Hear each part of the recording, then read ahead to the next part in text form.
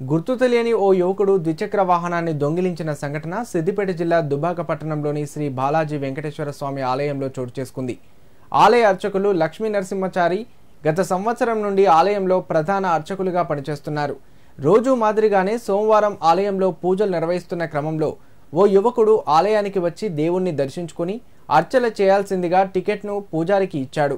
పూజారి తీర్థ ప్రసాదాలు అందజేసి మంగళహారతి తీసుకొని గర్భగుడిలోకి వెళ్ళారు ఈ క్రమంలో ఆ యువకుడు ఆలయ హుండీ వద్ద ఉన్న బైక్ కీని తీసుకెళ్ళి పార్కింగ్లో ఉన్న పూజారి బైక్ను దొంగిలించాడు. కొద్దిసేపటి తర్వాత అర్చకులు లక్ష్మీ నరసింహచారి వెళ్ళి చూడగా తన బైక్ కనిపించకపోవడంతో సీసీ ఫుటేజీలో రికార్డైన దృశ్యాలను పరిశీలించాడు. ఆలయంలో దర్శనానికి వచ్చిన ఓ యువకుడు బైక్ను చోరీ చేసినట్లు గుర్తించి దుబాక పోలీస్ స్టేషన్లో ఫిర్యాదు చేశారు. కేసు నమోదు చేసిన ఎస్ఐ మహేందర్ దర్యాప్తు చేపట్టారు.